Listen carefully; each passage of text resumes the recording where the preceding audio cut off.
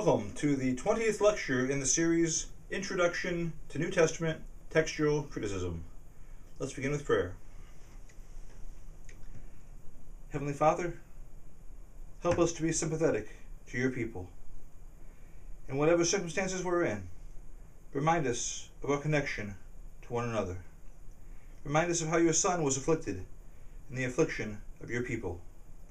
Help us to do what we can to help one another, knowing that it's, it's not when we, when we think about one another's burdens, but when we bear them, that we fulfill the law of Christ.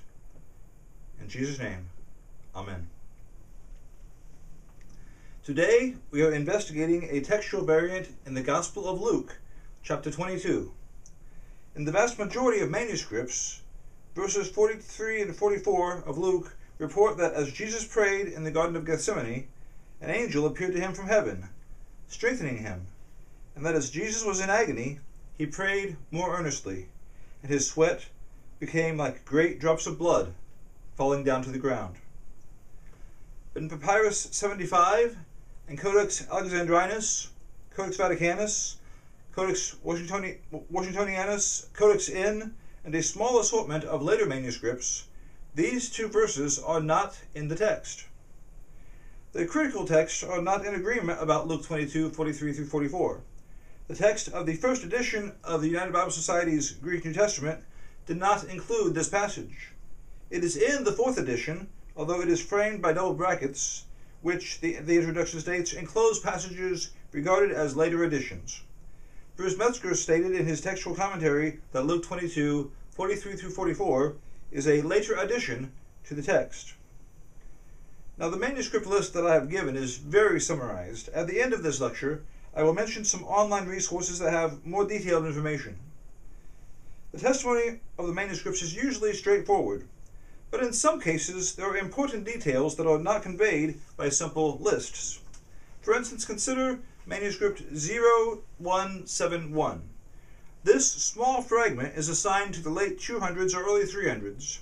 It was not mentioned in the textual apparatus for Luke 22, 43 through 44, in, in, in some editions of the UBS Greek New Testament, or in the first edition of the Tyndale House Greek New Testament.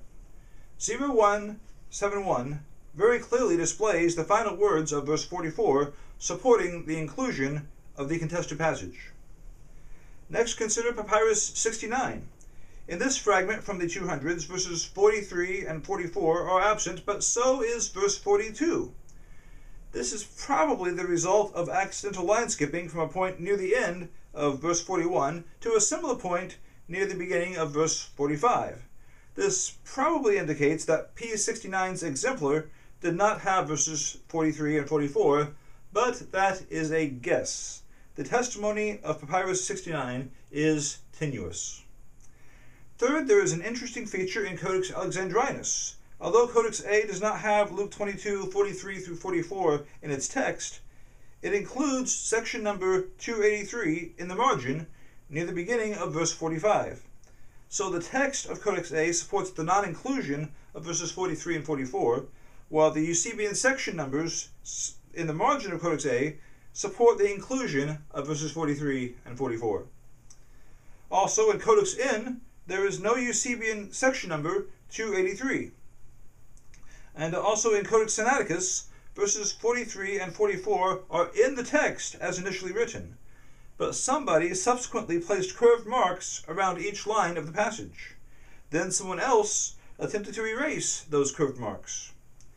And in Codex Delta, verses 43 and 44 are included in the text, but someone has added a column of four asterisks in the left column alongside the four lines that are mostly filled by these two verses. We will consider some other quirks in some other manuscripts, but first, let's turn to the patristic evidence, which includes some evidence earlier than the earliest manuscripts of Luke 22.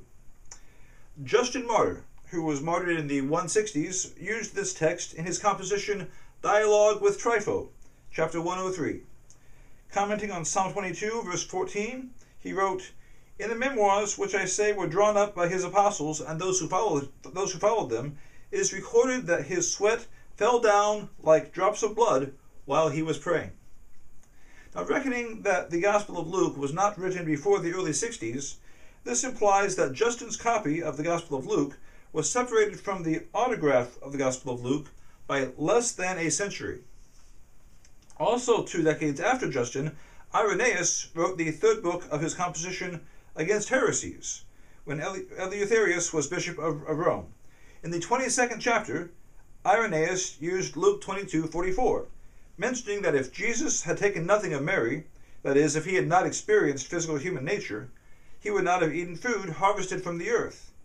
He would not have become hungry or weary, nor would he have sweated great drops of blood. Irenaeus' contemporary Tatian included Luke 22, 43 through 44 in his Diatessaron around the year 172. Around the year 360, as Ephraim Syrus composed his commentary on the Diatessaron, he also mentioned the detail about Jesus' sweat becoming like drops of blood. Also in Ephraim's Carmina Nisibina in Hymn 35, part 18, Ephraim pictured the devil saying this about Jesus. While he was praying, I saw him and was glad, because he changed color and was afraid. His sweat was as drops of blood, because he felt that his day had come. In the early 200s, the writer Hippolytus referred to Luke 22:44 near the beginning of chapter 18 of Against Noetus. In the course of giving examples of the contrast between Jesus' divinity and his humanity, Hippolytus wrote that in agony he sweats blood and is strengthened by an angel. The first patristic writer to mention manuscripts that don't support Luke 22, 43 through 44 is Hilary of Poitiers. Around the year 350, in Book 10 of his Latin composition De Trinitate, in Part 41, Hilary wrote, We cannot overlook that in very many Greek and Latin codices, nothing is recorded about the angel's coming and the sweat like blood.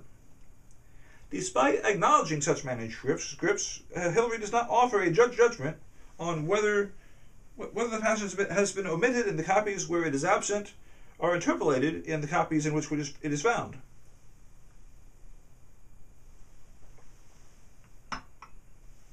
He seems to have been less concerned about reaching a correct verdict on the textual question and more concerned about promoting correct theology. He said that heretics should not be encouraged by the idea that Jesus' weakness is confirmed by the need for an angel to strengthen him and that his sweat should not be construed as a sign of weakness. And like Irenaeus, he points out that the bloody sweat demonstrated the reality of Jesus' physical body. Hilary seems content to use the text, affirming that we are forced to the conclusion that all this happened on our account. In 374, Epiphanius of Salamis made some very interesting statements about Luke 22, 43 through 44. In Panarion 19.4, he quoted these verses as an example of passages that Arians used to show that Jesus sometimes needed assistance from others, or that he was inferior to the Father. And it says in the Gospel according to Luke, There appeared an angel of the Lord strengthening him when he was in agony, and he sweat, and his sweat was as it were drops of blood, when he went out to pray before his betrayal. Now it should be noticed that Epiphanius quoted verse 43 with the reading, Angel of the Lord. In Panarion 61, Epiphanius used the passage again in the same way. He used the passage for doctrinal purposes and stated that without the display of agony and sweat pouring forth from Jesus' body, the Manichaeans and the Marcionites might seem reasonable in their theory that Christ was an apparition and not completely real. He emphasized how Jesus' sweat like blood showed that his flesh was real and not an apparition. Epiphanius claims in Panarion that Arius cited this very passage from the Gospel of Luke in an attempt to demonstrate the subordination of the Son to the Father. Now, so far, so far we could read Epiphanius' remarks and think that the only form of the text that he knew included verses 43 and 44. But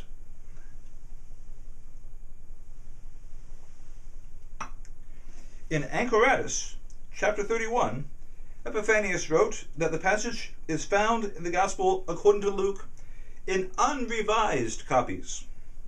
He also mentioned that Irenaeus had used this passage. Then he said, The Orthodox have removed the passage, frightened and not thinking about its significance.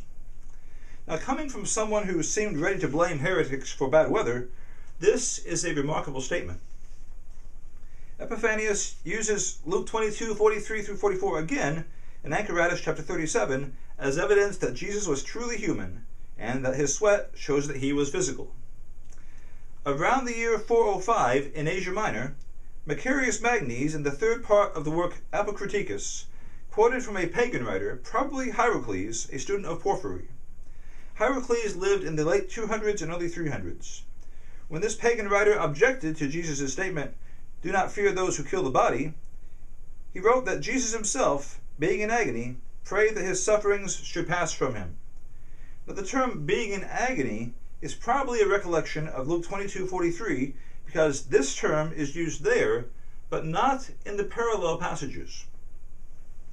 For the testimony of Amphilochius of Iconium, who lived from about 340 to 400, we rely on a collection of extracts in the medieval manuscript Athos Vatopedi 507 from the 1100s. A note simply says, of Amphilochius, Bishop of Iconium, on the Gospel of Luke. It states there, being in agony, he prayed more earnestly. Regarding Didymus the blind, there is some reason to wonder whether it was him or somebody else who wrote the, wrote the work called De Trinitate that is attributed to him, since some interpretations of the author are different than interpretations expressed by Didymus in some other works. Theologians do sometimes change their views, but whoever wrote De Trinitate he made an accurate quotation of Luke 22:43 in Book 3, Part 21. Ambrose of Milan in the late 300s, in his commentary on Luke, seems to use a text that did not contain verses 43 and 44. He does not mention the appearance of an angel. He does not mention that, that Jesus' sweat became like drops of blood.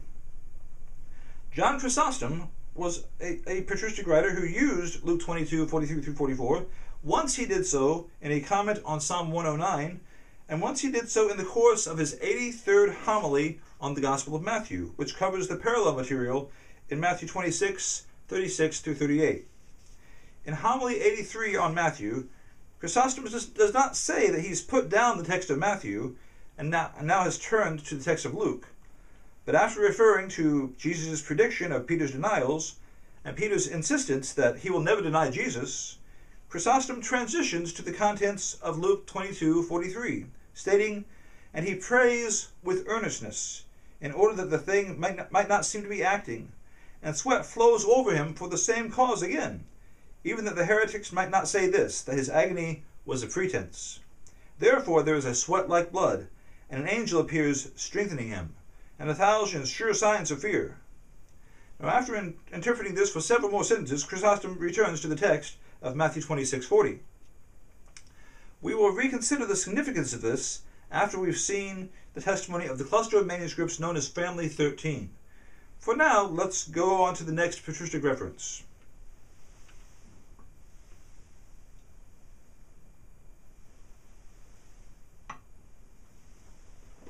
The testimony of John Cassian should not be overlooked, even though his name does not appear in the textual apparatus for Luke 22, 43 through 44, and the UBS Greek New Testament or the Nestle-Aland compilation. John Cassian traveled widely to the Holy Land, to Egypt, and to Rome before residing in what is now France in about 415. In his first conference of Abbot Isaac on prayer, also known as the Ninth Conference, in chapter 25, Cassian states that the Lord, in an agony of prayer, even shed forth drops of blood. A statement by Jerome in Against the Pelagians, Book 2, Part 16, shows that Jerome was aware of some copies that had Luke 22, 43 through 44, and some copies that did not. In 383, he included the passage in the Vulgate. Later, in Against the Pelagians, he wrote that these words, the words we know as Luke 22, 43 through 44, are in some copies, Greek as well as Latin, written by Luke which implies that Jerome also knew of copies in which the verses were not included. Theodore of Mopsuestia, a contemporary of Jerome who worked mainly in Syria and Cilicia, also had Luke 22, 43 through 44 in his Gospels text.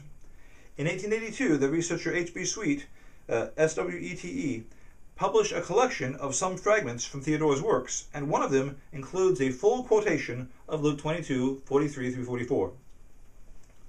Only slightly later comes Theodoret of Cyrus, who famously oversaw the withdrawal of 200 copies of the Diatessaron in his churches. In 453, Theodoret wrote Hereticarum Fabularum Compendium, and in this work, after presenting Jesus' statement in John 12 27, he says that Luke taught more clearly how Jesus was indeed suffering when he was in agony, and he proceeds to use part of verse 44. Now we come to the testimony of Cyril of Alexandria.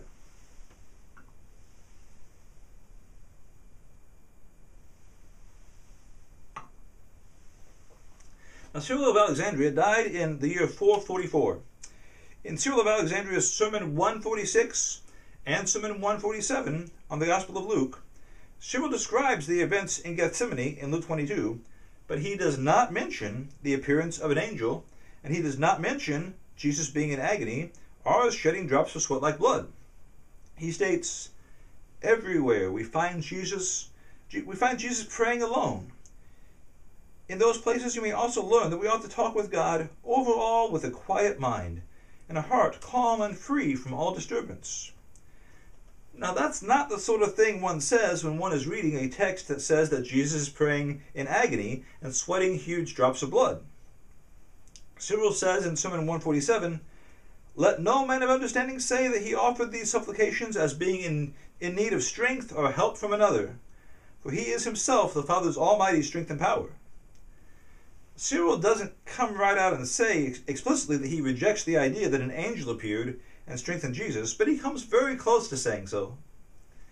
Severus of Antioch, in the first half of the 500s, supplies some additional information about the text used by Cyril in an extract from the third letter of the sixth book that he wrote to the glorious Caesarea. Severus stated the following Regarding the passage about the sweat and the drops of blood, Know that in the divine and evangelical scriptures that are at Alexandria, it is not written. Wherefore also the holy Cyril, in the twelfth book written by him on behalf of Christianity against the impious demon worshipper Julian, plainly stated the following. But since he said that the, the, the but since he said that the divine Luke inserted among his own words the statement that an angel stood and strengthened Jesus, and his sweat dripped like blood drops or blood, let him learn from us that we have found nothing of this kind inserted in Luke's work, unless perhaps an interpolation has been made from outside which is not genuine. The books, therefore, that are among us contain nothing whatever of this kind, and so I consider it madness for us to say anything to him about these things. And it is a superfluous thing to oppose him regarding things that are not stated at all, and we shall be very justly condemned to be laughed at. Then Severus states in the books, therefore, that are at Antioch and in other countries, it is written, and some of the fathers mention it. He names Gregory the theologian and John Chrysostom as two examples. Then he says that he himself used this text in his 64th homily. In this way, Severus drew his readers' attention to Emperor Julian's use of the passage in the mid 300s, and to Cyril of Alexandria's rejection of the passage in the early 400s, and to the acceptance of the passage in Antioch, and by Gregory of Nazianzus, by John Chrysostom, and by Severus himself. Severus's testimony is particularly significant because he specifies that the copies in Alexandria lacked the passage. Later, in the 600s, a writer named Athanasius the Abbot of Sinai is credited with yet another text critically relevant statement about Luke 22, 43 through 44. Amy Donaldson, in her 2009 dissertation, explicit references to New Testament variant readings among Greek and Latin church fathers included his statement. It says, Be aware that some attempted to delete the drops of blood, the sweat of Christ, from the Gospel of Luke, and were not able. For those copies that lack the section are disproved by many and various Gospels that have it. For in all the Gospels of the nations it remains, and in most of the Greek.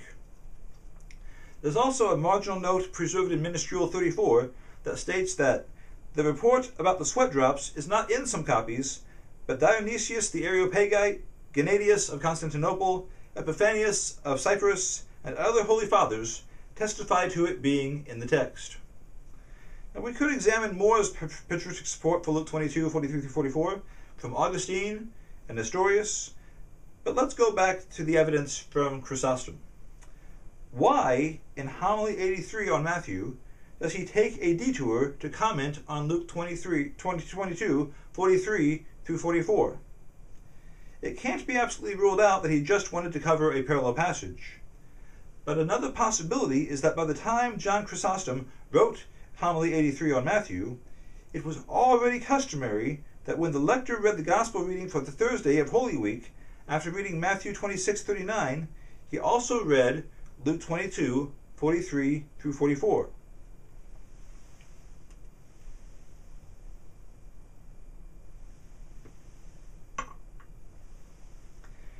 John's brief detour into Luke 22 interlocks very snugly with this custom. In addition, in Codex C, a secondary hand has written the text of Luke 22, 43 through 44 in the margin near Matthew 26, 39. This brings us to the evidence from the cluster of manuscripts known as Family 13. In most members of Family 13, Luke 22, 43 through 44 appears in Luke, either in the text or margin after Luke 22, 42. Most of the members of Family 13 also have these two verses embedded in the text of Matthew after 26, 39. The evidence for Minuscule 1689, a member of Family 13, is very helpful. This manuscript was lost for several years, but has been found safe and sound in the city of Prague. It has Luke 22, 43 through 44 in the text of Luke, and alongside Matthew 26:39, there's a margin note instructing the lector to jump to section 283 in the Gospel of Luke, that is, to jump to Luke 22:43 through 44. Many other manuscripts have similar notes in the margin at this point, as part of the lectionary apparatus. It does not require a long leap to deduce what has happened in Family 13. Instead of resorting exclusively to margin notes to instruct the lector to jump from Matthew 26:39 to Luke 22, 43 through 44, and then return to Matthew 26, 40, somebody whose work influenced members of Family 13 simplified things for the lector by combining the parts of the lection in order within the text of Matthew.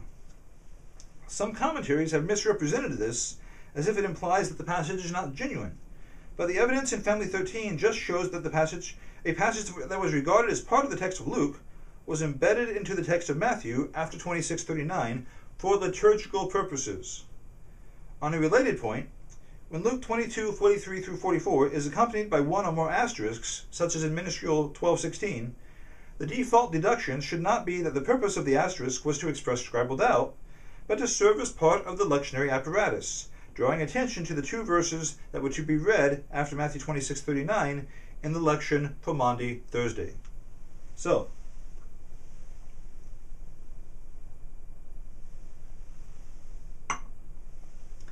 So, was Luke 22, 43 through 44 initially present or initially absent? The passage is supported by a broad array of manuscripts, plus the manuscripts of over 20 patristic writers and a couple of non Christian writers. Four patristic writers, Hilary, Epiphanius, Jerome, and Athanasius of Sinai, show that they were aware that verses 43 through 44 were not supported in all copies, but nevertheless they favored the inclusion of the verses. Epiphanius even said that Orthodox individuals had attempted to remove this passage. One Latin writer, Ambrose of Milan, did not have verses 43 and 44 in his text of Luke 22. And one Greek writer, Cyril of Alexandria from the 400s, definitely did not have verses 43 through 44 in his text. The most ancient evidence from Justin, Tatian, and Irenaeus includes this passage. The most geographically diverse support points in the same direction. And support for these verses does not come from only authors with one doctrinal view. Plus, internally, nothing in the surrounding material calls for the insertion of something more. Uh, Bart Ehrman has proposed that verses 43 through 44 don't look like something that Luke would write, on the grounds that Luke had an interest in portraying Jesus as imperturbable, However, Luke reports about several actions of Jesus in which his disposition is far from stoical or disinterested, including his criticism of the synagogue ruler in chapter 13 and his weeping over the city of Jerusalem in chapter 19. There is really no substantial case based on internal evidence for the idea that verses 43 through 44 could not originate with Luke. When we look at the external evidence that supports Luke 22, 43 through 44, the question should not be, did somebody remove these verses from the text of Luke, but why did somebody remove these verses from the text of Luke? It is virtually unique to see a Christian writer assert that the Orthodox tampered with the Gospel's text, and to imply that some Orthodox believers revised the text in a way that was influenced by their fear. The absence from verse, of, verses 43 and 44 in Papyrus 75 implies that the removal happened relatively early in the text transmission. In the 100s, the second century writer Celsus, in a statement preserved by Origen, claimed that some believers alter the original text of the gospel three or four or several times over, and they change its character to enable them to deny difficulties in the face of criticism. Now, there's no way to tell if Celsus saw what he says he saw, but it can't be ruled out that he did indeed notice Christians making changes to the Gospel's text, and that because some of those changes appeared to him to relieve perceived difficulties in the text, he naturally believed that this was the motivation for those changes. However, he might have seen and misunderstood something else. Textual adjustments that were not made to minimize interpretive difficulties, but to render the text easier to use when it was read in church services. One of those adjustments may have involved a liturgical feature pointed out by John Burgon in the Revision Revised. Here I slightly paraphrase his observations.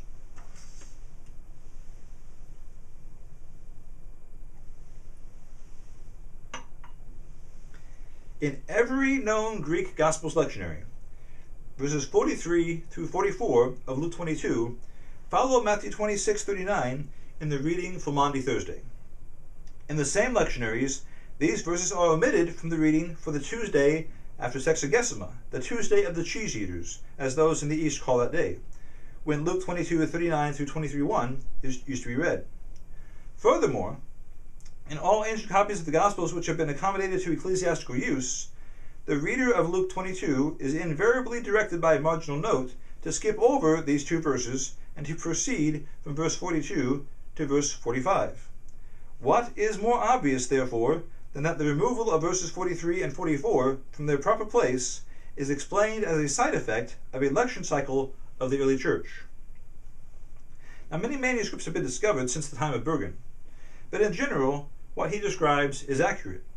Luke 22, 43 through 44 is embedded after Matthew 26, 39 in the lection for Maundy Thursday, and it is left out of the lection assigned to the Tuesday after Sexagesima Sunday.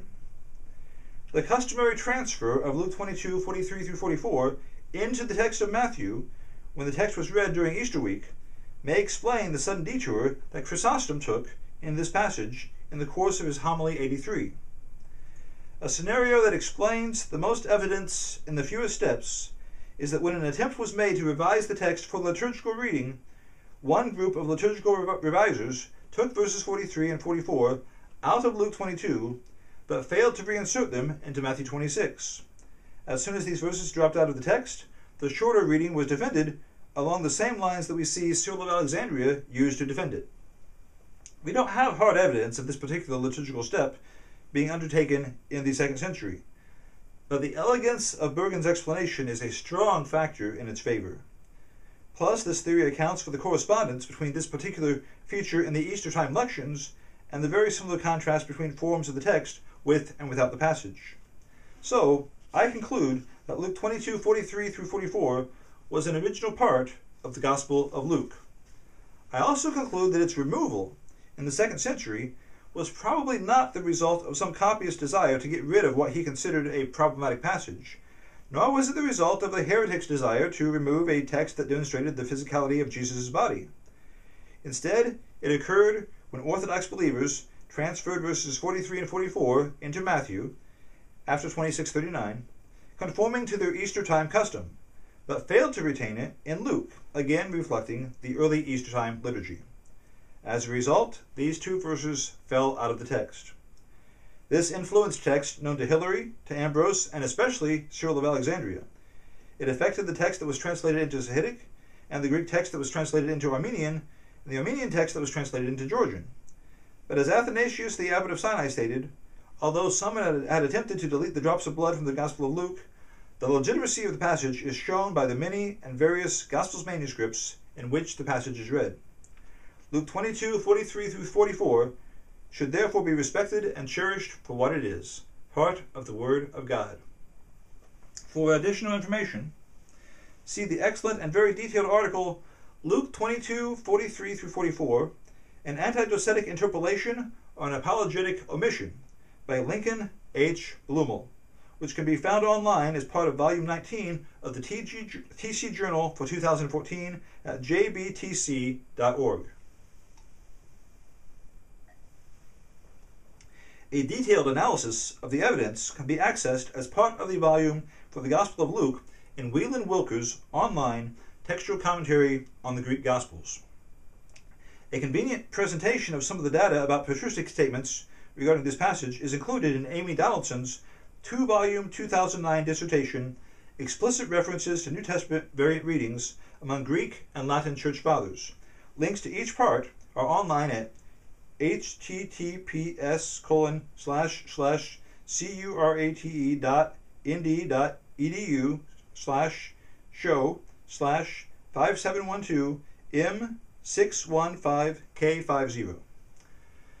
Also, the English translation of the Panarion of Epiphanius of Salamis, books 2 and 3, by Frank Williams, was particularly helpful in preparing this lecture.